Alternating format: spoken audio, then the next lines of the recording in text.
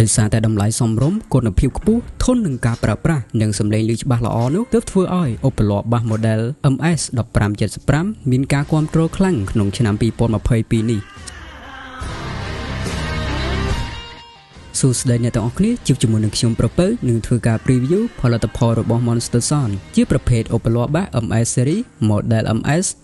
1575ចំនួនថ្មីហើយក៏ជាផលិតផលសុទ្ធរបស់ប្រទេសថៃផងដែរ រូបរាងរបស់វាមានពណ៌លឿងខ្ចីគ្រងដែករឹងមាំល្អធន់ទៅនឹងការបុកបាសខ្លាំងរុនហើយបញ្ចេញកម្ដៅរបស់វាគឺស្វិតល្អនិងរឹងមាំមិនបារម្ភខ្លាចរហែកពេលបុកបាសខ្លាំងខ្លាំងឡើយឧបល័បាសមួយនេះមាន2ខ្នាតគឺទំហំ4ទឹកក75កម្លាំងបុកបាស800វ៉ាត់និងទំហំ3ទឹកក65កម្លាំងបុកបាស500វ៉ាត់នៅផ្ទៃខាងមុខវាមានស្រទាប់កូទីនអាចការពារការជ្រាបទឹកការពារកម្ដៅ និងបញ្ជាអាយុកាលការប្រើប្រាស់ឲ្យបានយូរជាងមុន Oplo Bass MS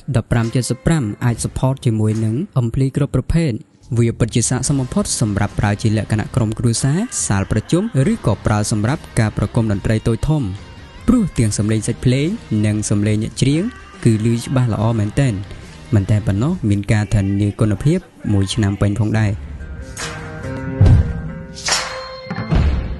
ត្រឡប់មកវិញបន្ទាប់ពីបានស្ដាប់ហើយលោកអ្នកយល់យ៉ាងម៉េចដែរសាកទិញម្នាក់មួយយកទៅប្រើទេព្រោះទាំងគុណភាពនិងតម្លៃសមរម្យបំផុតលោកអ្នកអាចធ្វើការតាក់ទងឬមកកាន់ហាងយើងខ្ញុំឬក៏មកកាន់បណ្ដាចែកចាយបន្ត